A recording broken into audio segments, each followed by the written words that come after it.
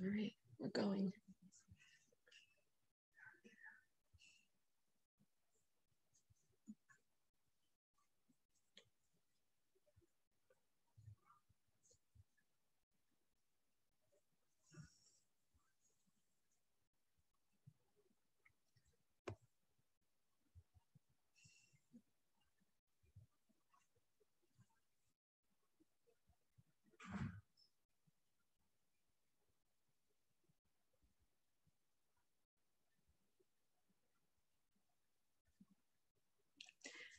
Welcome to our virtual program and lesson with the Tenement Museum.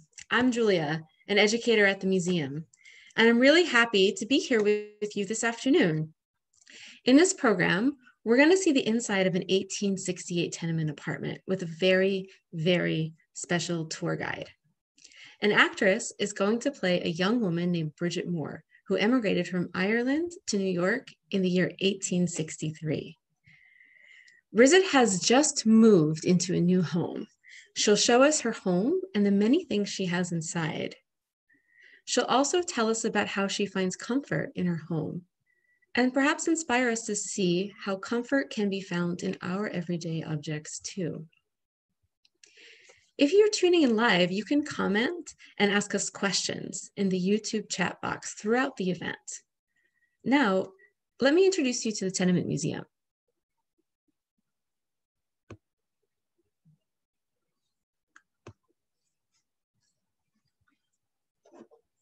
The Tenement Museum tells the stories of immigrants, migrants, and refugees in the United States.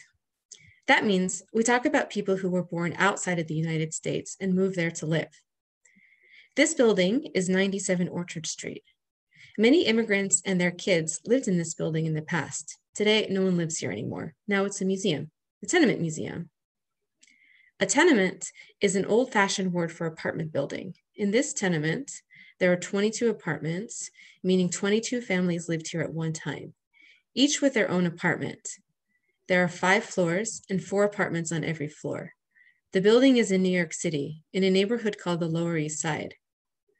All the families that we talk about at the Tenement Museum, like Bridget Moore and her family, were real people.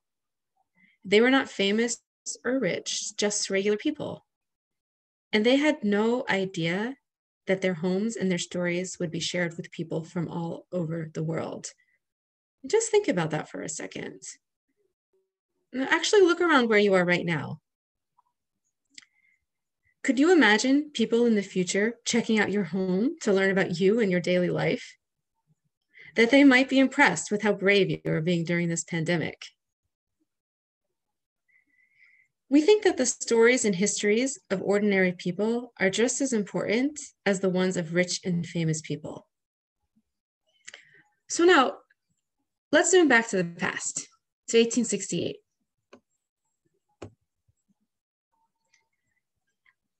This is the living room or parlor of Bridget Moore's family apartment in a tenement building on Orchard Street.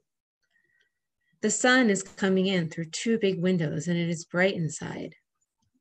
Why don't you take a few moments to look closely at this photograph? Look at the different objects in the living room. Do they bring up any questions for you? I see about six wooden chairs around the room and a wide open space where brown carpet with red and green stripes lays. There might even be enough room for dancing. Besides the sunlight coming in, we can see some lanterns. One is between the windows. Another one is on the fireplace, sitting on some patterned dark green fabric. With no electricity, it must have been pretty dark inside once the sun goes down. On the walls, um, I see a mirror. I see a drawing of a person between the windows and something else hung up by itself on the wall across from the mirror. Perhaps Bridget will tell us more about these things when we meet her. Before Bridget shows us her home, though, oh, let's learn a little bit more about her history.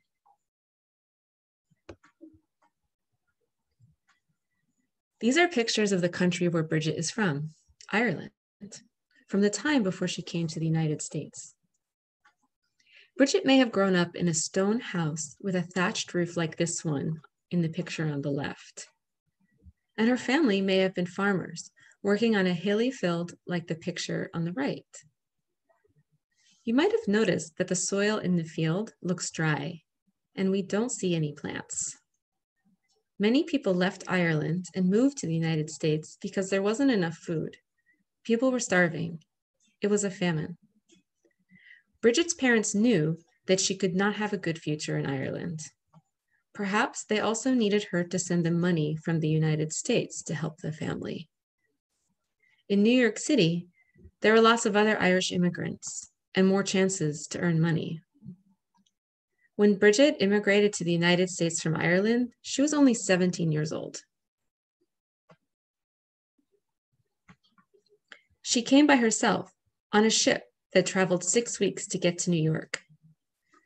This is an illustration from 1871. People of all ages are boarding a ship that's going to take them to a new country. Next to the mast, there's a man carrying a heavy load. And underneath the ropes, I see a group of children gathering around someone with a top hat holding up a doll. Maybe he's selling them. It makes me think about the things people might bring or might leave behind when they move.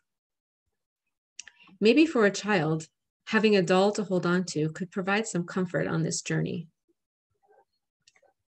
When Bridget gets to the United States, she'll need to find a home. Bridget lives in a few different homes. And one place that Bridget lives is a neighborhood called Five Points.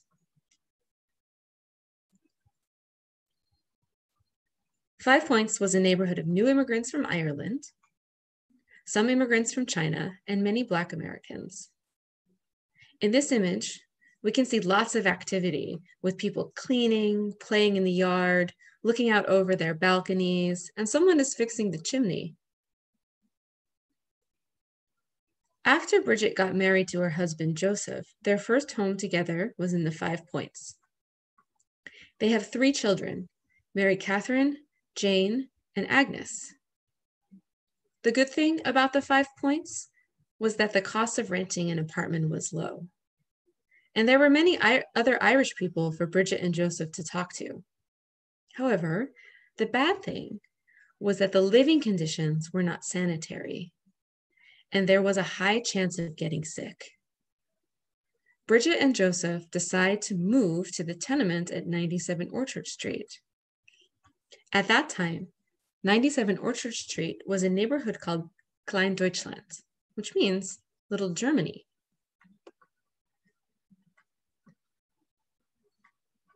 The apartment and living conditions in Klein Deutschland were better than in the Five Points. However, most of the people in their building and in the neighborhood were immigrants from Germany. So Bridget and her family might have felt like outsiders. In fact, at this time in history, many people in the United States were suspicious of Irish immigrants and had unfair opinions about them. There were stereotypes that said Irish people were poor, dirty, and had diseases and liked to fight. Many Irish people who wanted jobs were discriminated against. Having to deal with those prejudices and poor treatment would make life difficult for the Moores. But let's see for ourselves. Now that we've learned more about Bridget and her journey, let's get ready to meet her. Before we enter Bridget's apartment, you can prepare to take a few notes. So take a second and get something to write with.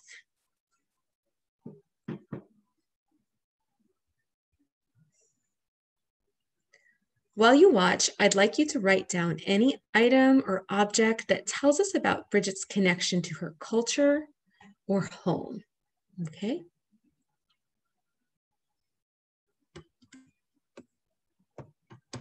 All right, let's meet Bridget.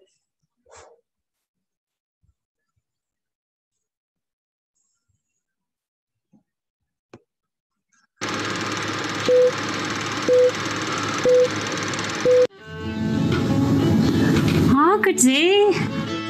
My name is Mrs. Bridget Meehan Moore. It's a pleasure to meet you. welcome to me home. Come inside, come inside. I live here with my husband, Joseph, and I got three little girls, three wee ones. Mary Kate, she's three, and Jane, she's two years old. And then little Agnes, just a wee bab still in my arms. And well, we're new in this building. What do you think of me new home? I must say I'm quite proud of it.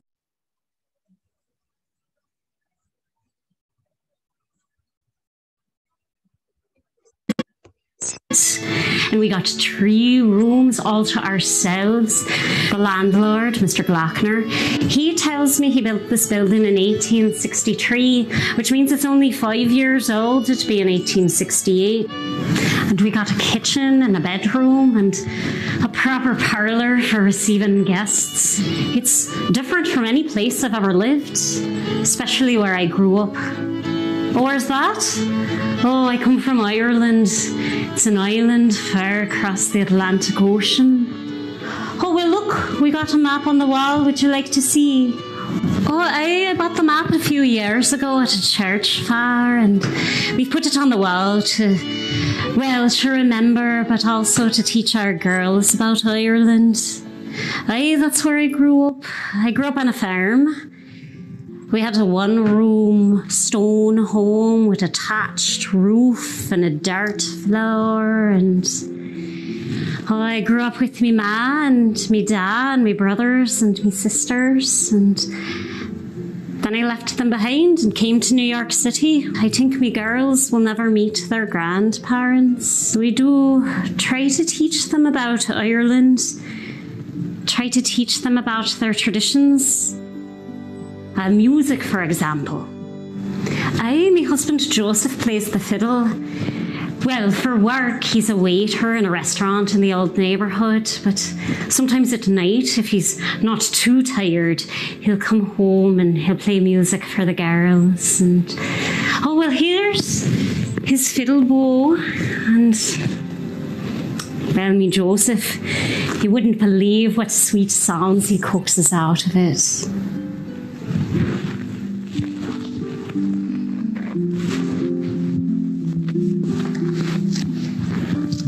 On the table over there, we keep a book called Moore's Irish Melodies. It was written by Thomas Moore, but no relation of Joseph's. At least we don't think so. But my favourite is a song called The Last Rose of Summer. And well, I think that's my girl's favourite too. Sometimes Joseph will play fiddle to it. And well, the youngest Agnes, she's too young to understand, of course, but when Joseph and me dance, well, her eyes get big and she laughs. So I like to think she understands.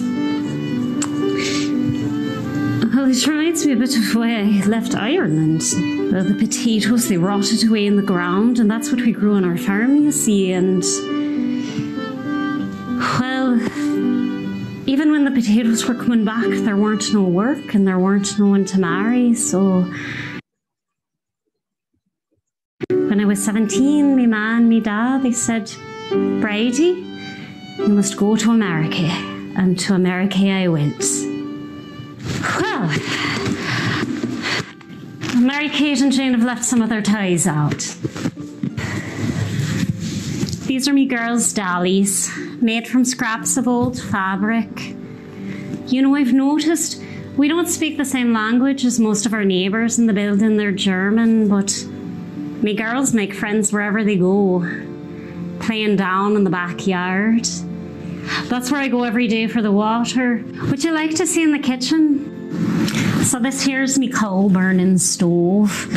Hey, cooking here is quite different than it was in Ireland. There we cooked over a hearth using peat uh, with some called tar. And here, well, we're cooking with coal. It goes in the top of the stove and well, this is one of the many things that I got to go all the way down the stairs many times a day to collect. I'm going down to the cellar for the coal. I'm going down to the backyard for the water. And that's where I meet my neighbours. Got to admit to you, I don't understand a word they say. All of me neighbours are German except for Mrs. Mary Kennedy and her husband, who's also Irish like me. Well, I told you, me girls, they have no trouble playing with the other children in the building, but well, I do wish I could talk to me neighbours, make some more friends in this building. Over here is me St. Bridget's cross. Would you like to see? Ah, well, my family is Catholic, you see. And so we hang the St. Bridget's cross above the door, and we believe that it protects the home from bad things like hunger and like fire. And well, when we first moved to this building, I think some of me neighbours thought that this was a little strange or suspicious to have this above the door. Well, most of them aren't Catholic, and well, some of them are, but they're German and they have their own saints, I suppose. But now that we know our neighbours a little better, well, they don't look at it so strange anymore. I suppose they've gotten used to it. And it's a good thing they have, because we would never think of taking it down. Well, our religion is very important to us, you see.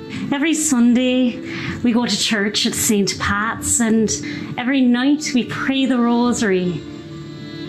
Oh, would you like to take a quick peek in our bedroom before you go? Well, I think my rosary is the most precious thing I own. Me ma gave it to me, you see right before I got on the boat to come to America. And well, me ma, she weren't one for crying. And she gave me the rosary, her eyes were shining. And she said to me, Bridie, you take it and you take it to America, and then I will always be with you. And so every night when I say my prayers, I remember my mom and I pray for her. And each beat is a prayer, you know. And so I always say one for me ma before I go to sleep.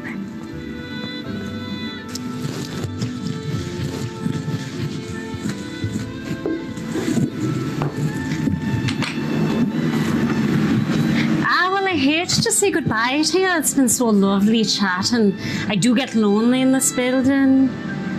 You know, life in America hasn't always been what I expected. It can be quite hard, but well, it has its moments of joy too, and I got a family of my own now. Well, perhaps you'll come again. It was lovely to meet you. But for now, goodbye. Twas lovely to meet you.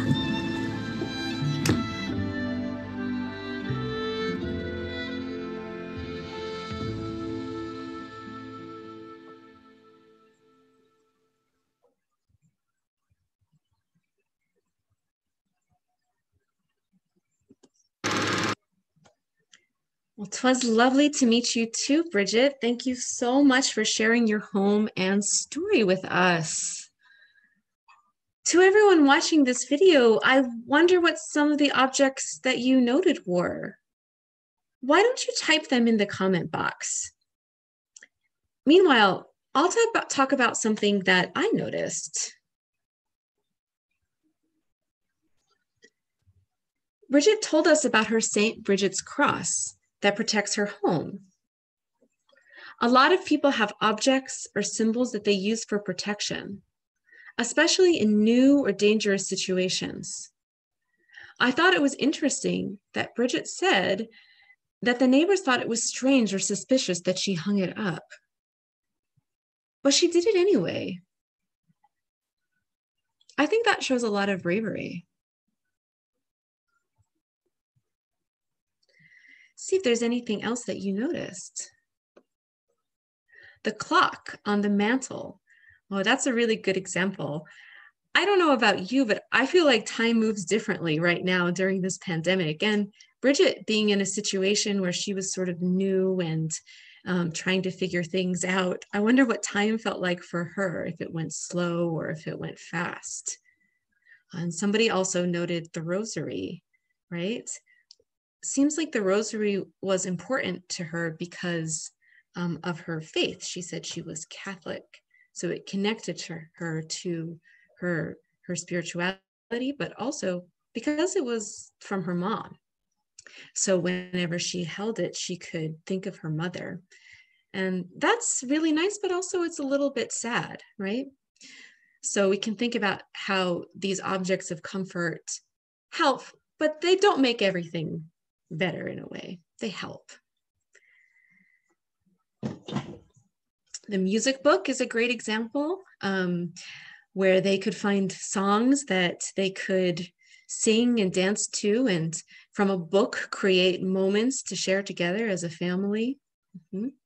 Oh, and somebody also shared a connection between a mezuzah and a St. Bridget's cross. A mezuzah is a um, encased prayer scroll that many Jewish families might put on their doorways. It's very similar. That's a great example. Ah, yes, and uh, the map of Ireland. So we noticed that in the picture that there was something on that wall, and Bridget told us that um, that what was on her wall was a map of Ireland, right? And we can imagine that she might have looked at that map of Ireland and, and showed her children that map. And I bet that her and her children would have seen different things when they looked at that map. Bridget probably would have seen her family and the rolling green hills. And to her kids it was it was a map right? But you got to start somewhere. And somebody asked if if we think that bridget got homesick. What did you why don't you, what do you all think about that? To me it seems like she did especially when she was saying how she missed her mom. And she also mentioned how her kids won't get to know their grandparents. So it seems like some things in the united states had joy um, but there was a lot of hardship for her too was there anything else that anyone noticed in terms of objects if not um, Oh, I will talk about one more that I see here the blue and white china. Right. Maybe you saw in her kitchen that there were some plates um, there that were blue and white. Really nice item, right? Maybe something like that was something that she um, brought with her, or maybe they were given to her as a gift. And maybe on special occasions, they might have used those things together as a family.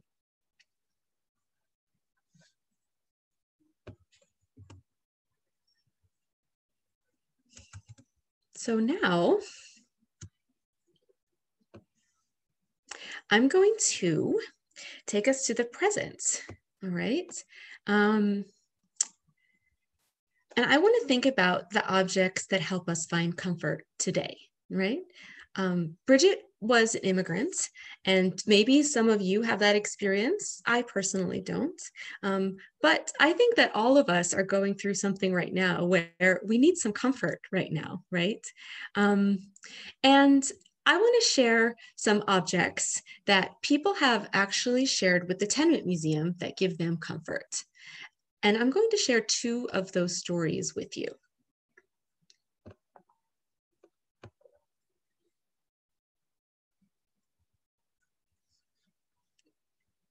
Maurice tells us the story of his teddy bear. His mother gave it to him when he was four, and it always reminded him of her. One day, he realized the teddy bear was lost. He looked all over for it, but he couldn't find it. At first, Maurice couldn't sleep. The bear reminded him of his mother, especially when she worked long days away from home.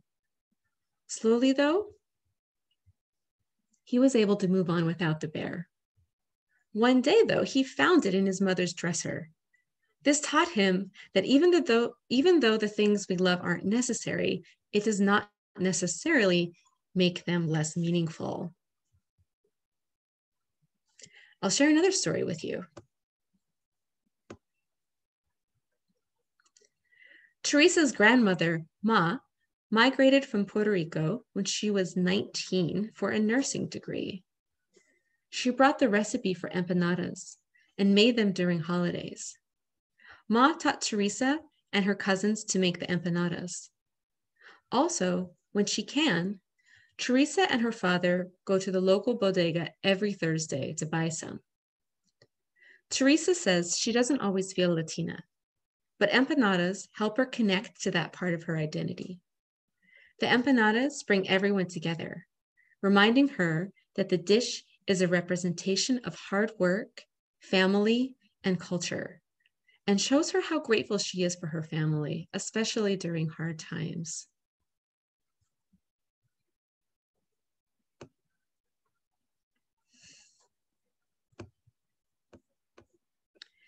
So, like you all, I'm spending more time at home than I ever expected. And I found some objects here that have been giving me comfort as we get through this pandemic. Are there any everyday objects that are providing you comfort? Maybe you didn't think about it till now, but take a moment and look around you.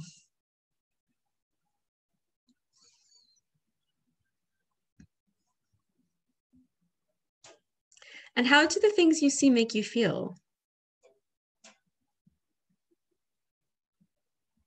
What makes you feel happy or what makes you feel something? In the comment box, you can write the name of an object and a sentence about it. Um, but while you look around and think about that, let me first share an example. Okay. Let me just get it. All right. So these red pots here, these belong to my grandma, Nanny. She passed away last year. When my mom was cleaning her house, she gave them to me. To be honest, I just needed pots, so I didn't think too much about it. But now that I'm inside cooking every day, when I use these pots, I wonder about what Nanny thought as she cooked with the same pots. She was an immigrant from England in the 1940s, and she was raising a family in a small town in Pennsylvania without her mother, father, or brothers and sisters around. I bet she wondered a lot about how her life would turn out, and she ended up creating a close, loving family.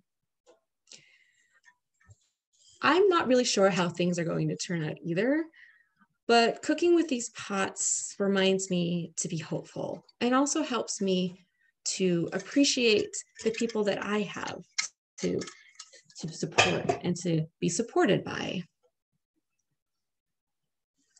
So I'm wondering if any of you thought of any objects. Let's see. So D um, also connects to grandmother and says, I'm going to wear my grandmother's watch while things hang on a chain. My mother's parents came to New York City from Hungary. Yeah, that's a great thing. Watch hanging on a chain. That's a really, great connection, right? And David also has his grandpa's ring. It's really interesting that we connect to the people who came before us. I mean, Bridget talked about that too, about her parents. Um, and Jim also has, or sorry, excuse me, Jill has grandmother's umbrella hanging in the dining room. Ah, and she would always take it with her. Whenever she sees it, she feels closer to her. Yeah, I relate that too.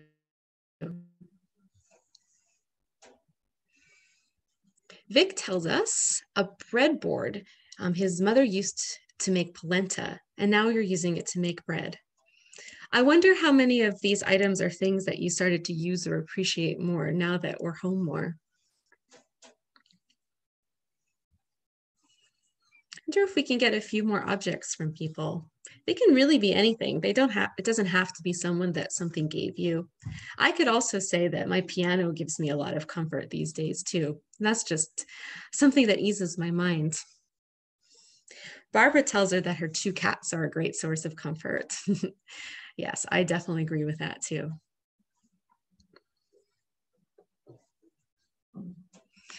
And Allison tells us um, that her aluminum pots are a great source of comfort. It's interesting that so many of these things also have to do with um, with um, food and cooking too, right? Food and cooking is a way that we often come together and it, it's when we make memories with the people that we love. So no wonder that our objects of comfort have to do with um, food.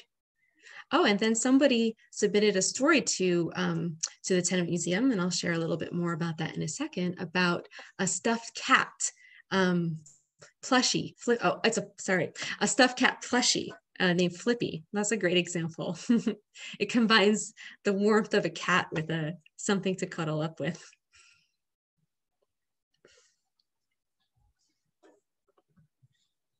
see, is there anything else out there that anyone would like to share? These are all really great examples.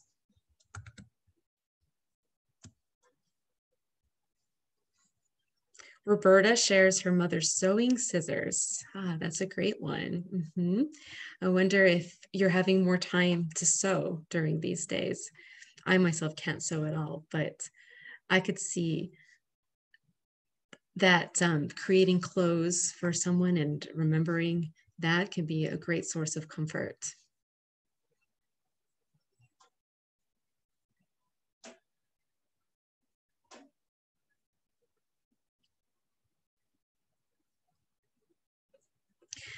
If any other um, ob objects come in, feel free to share them, but I just wanted to say thank you for sharing those um, and um, to let you know that we think all of those objects really deserve to be in a museum. They're really special.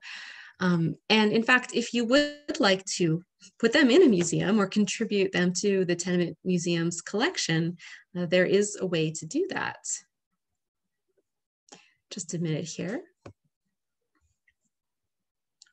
We have a website called Your Story, Our Story, um, and actually a collection there right now called Objects of Comfort. Um, and you can upload your stories to share, or you can read thousands of other object stories from people today. So just go to yourstory.tenement.org. Now, um, if there aren't any other objects to share for now, I was just wondering if um, I could take some time to answer any of the questions that came up during the program, either about the Tenement Museum or Bridget or her apartment or anything like that. So one of those questions is, do we know what part of Ireland Bridget was from? You know what, we don't. And that leads to something else about the Tenement Museum, because the people that we tell stories about are, are not really famous, they don't have a lot of documentation about them. So we don't always know all the details about people's lives. So we know she was from Ireland from different documents, but we don't have anything that tells us exactly where she is from. Though we often assume it's from somewhat somewhere more rural, as most of the migrants from that time were. And then another person wonders if she could read or write. Actually, we don't know that either. Um, we know Bridget probably spoke English, um, which might have been an advantage for her working in the United States. And we wonder about reading and writing because she probably would have wanted to write letters or be in touch with her family. So even if she or her family wasn't able to read or write, they probably would have found a way um, to transcribe or to have somebody help them so that they could stay in touch with people. And somebody wonders how long Bridget lived in the house. So actually, Bridget just lived in this house in 97 Orchard for one year. Um, and then she moved to another neighborhood that not wasn't so far away, but it was actually closer to the church that they went to, St. Patrick's Cathedral. So another question that has come in is, where did the kids sleep? Well, probably they would have switched places where they slept. Um, if they could fit in the bedroom, they might sleep in the bedroom. Actually, we can see that there's a little um, crib in the bedroom there. And perhaps sometimes the kids might have slept in the parlor or even when it was cold maybe they even slept where it was warm near the stove in the kitchen um, but families would have been creative in their three room apartments if someone else is wondering where the bathroom is You might have noticed that there is not a bathroom in this apartment. In 1868, there was no running water inside the tenement museum. So or it wasn't a museum, the tenement home, the tenement building. So if you needed water, you had to go outside to the backyard where there was a pump. And back there, there were also four toilets or privies that they shared with the 22 other families that lived in the building. But I'll tell you that these toilets, they actually flushed, which was probably better from the museum or I'm sorry, from the the neighborhood, the Five Points where Bridget was living before. Um, so that might have been a helpful situation once they moved here. And then one more question that I see here is, did Bridget work outside the home? If so, what did she do?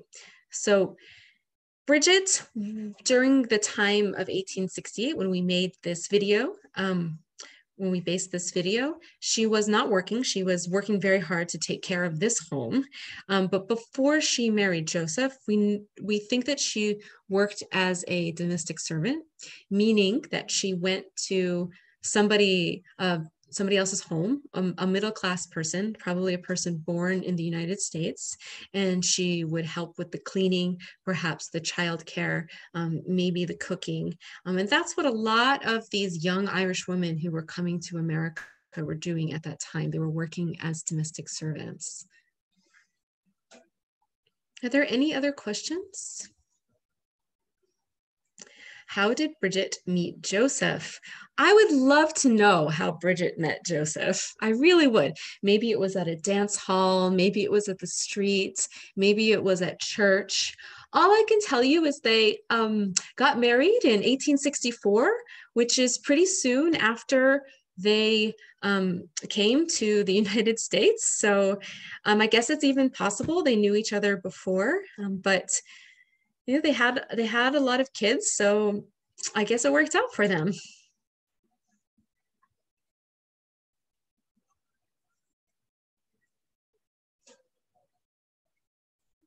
Are there any other questions?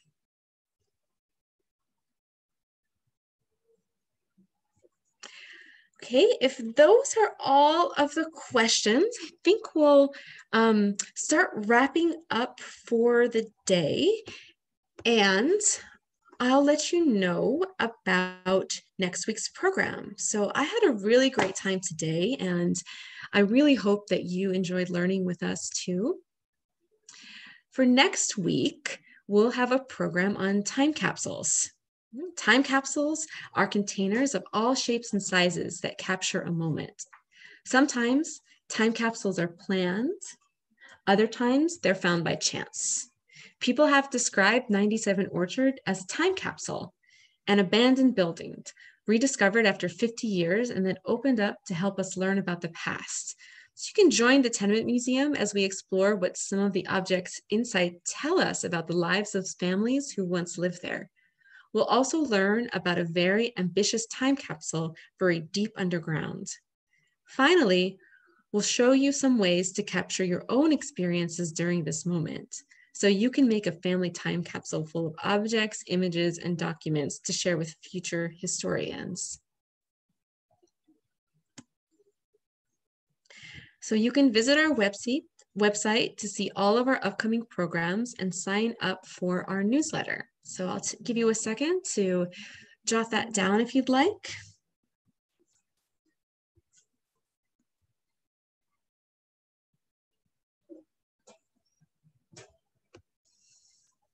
All right, so everyone, it was so nice spending this time with you today.